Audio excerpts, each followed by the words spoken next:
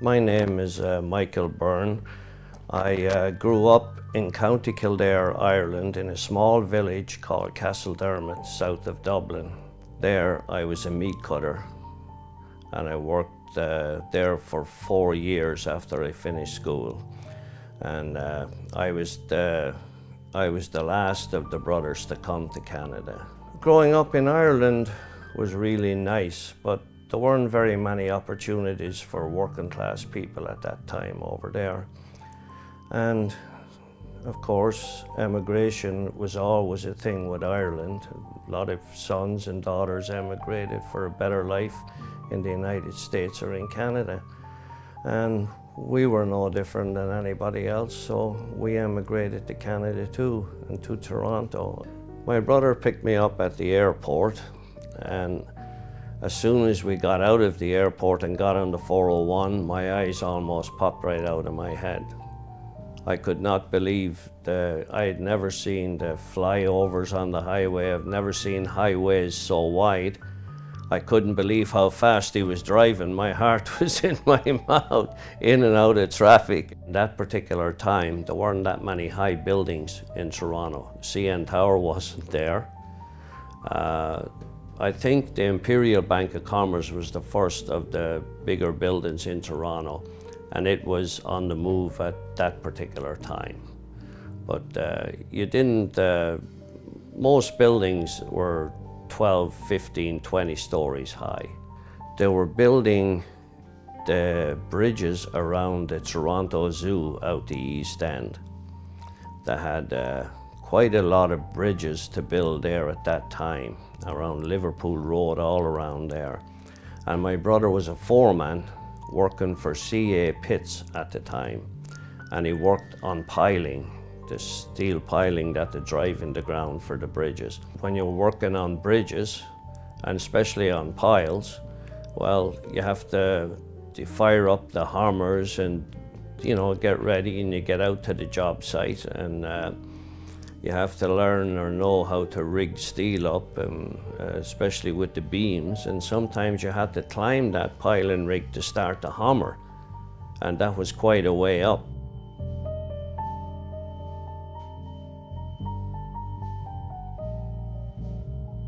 My next job was on a high rise in Toronto.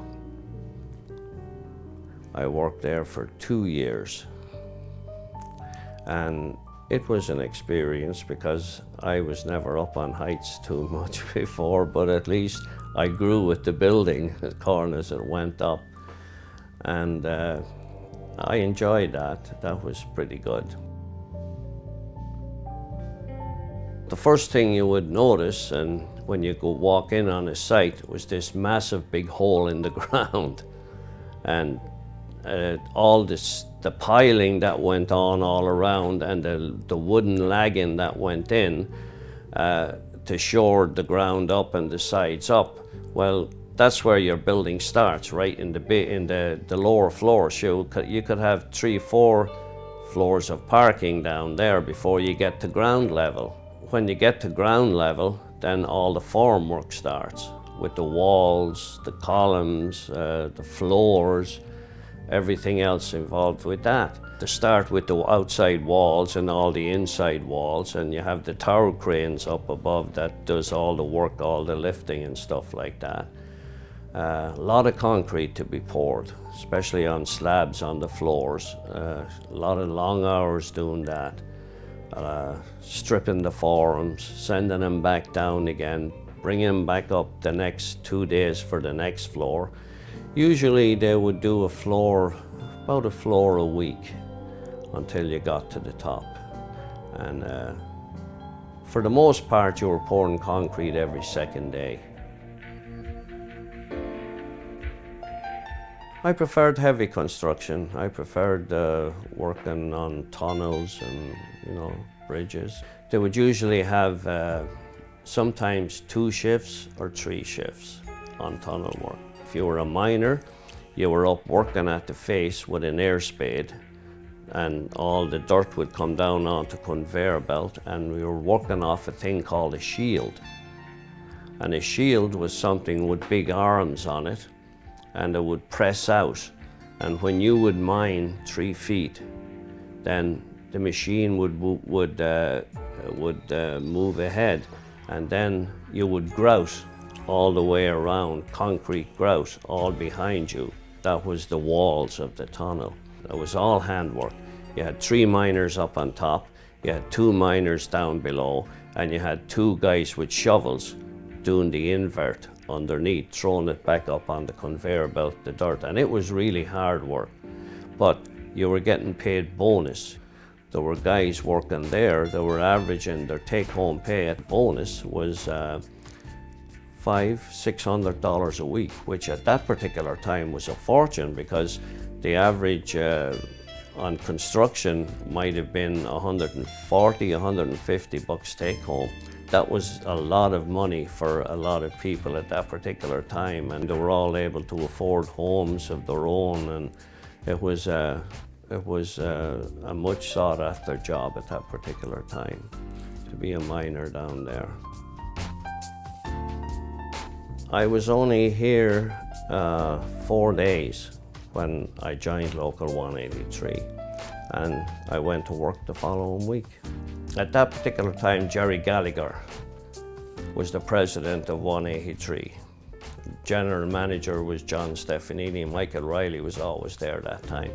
And there was a very, very, very strong uh, business agents that time that if there was any problem on the job site with regards of health or safety or any issues containing to, uh, we'll say your wages or weren't getting paid the proper overtime, call those guys, they would address it right away.